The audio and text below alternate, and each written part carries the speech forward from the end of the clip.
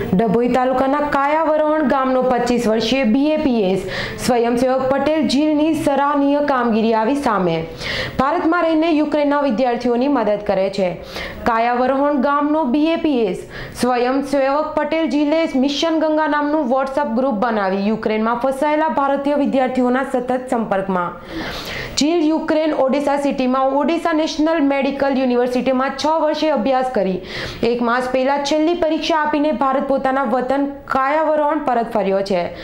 Ukraine રશિયાનું યુદ્ધ ચાલુ થયા બાદ કાયાવરોહણ ગામનો બીએપીએ સ્વયંસેવક પટેલ જીલે મિશન ગંગાનું વોટ્સએપ ગ્રુપ બનાવી યુક્રેનમાં ફસાયેલા વિદ્યાર્થીઓને મદદે આવતા યુક્રેનના જુદા જુદા શહેરોની યુનિવર્સિટીઓના વિદ્યાર્થીઓનો મિત્ર દ્વારા સંપર્કમાં આવે તે માટે એડ કર્યા.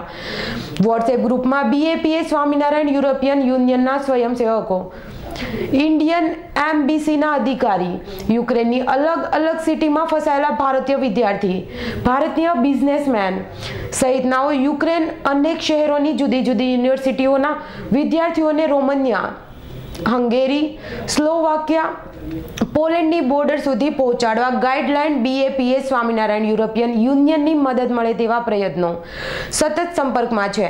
રોમાનિયા, હંગેરી, સ્લોવાકિયા, પોલેન્ડની બોર્ડર પાસે બીએપીએ સ્વામિનારાયણ યુરોપિયન યુનિયનના સ્વયંસેવકો, ભારતીય વિદ્યાર્થીઓની મદદ માટે.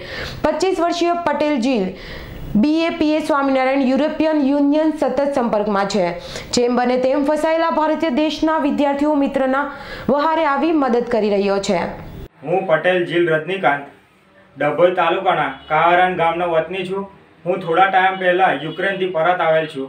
હાલમાં યુક્રેન અને રશિયા વચ્ચે જે યુદ્ધ ચાલી રહ્યું છે, એમાં બહુ જ આપણા ઇન્ડિયન સ્ટુડન્ટો અને બિઝનેસમેનો ફસાયા છે.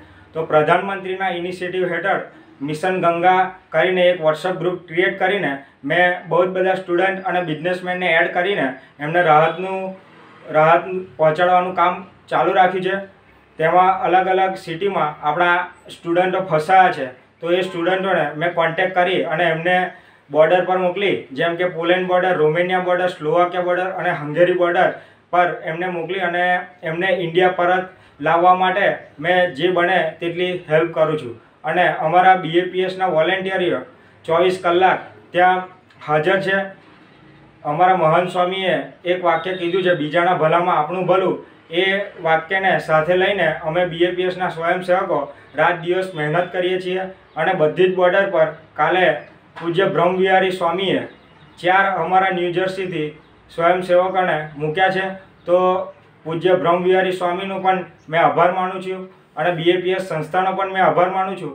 અને અમે આ આ મીડિયાના માધ્યમથી તમારે વિનંતી કરવા માગીએ છીએ કે જેટલા બી સ્ટુડન્ટો અને એમના ફેમિલીના ફ્રેન્ડ્સ જે બી ફસાયા હોય, એ લોકો અમારા ગ્રુપમાં જોડાય તો અમે બનતી એમને મદદ કરવા માટે તત્પર છીએ. જય હિન્દ, જય ભારત.